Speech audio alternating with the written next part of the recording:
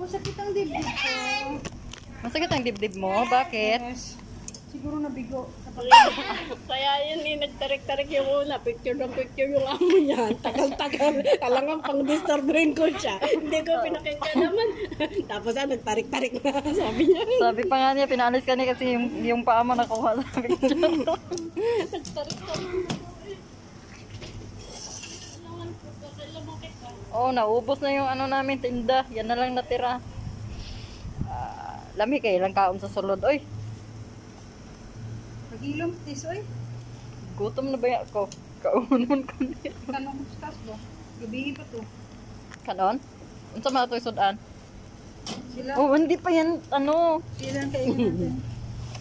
Huwag naman. Barbecue. Tarik na yan. Style. May supot pa ako dito, dang.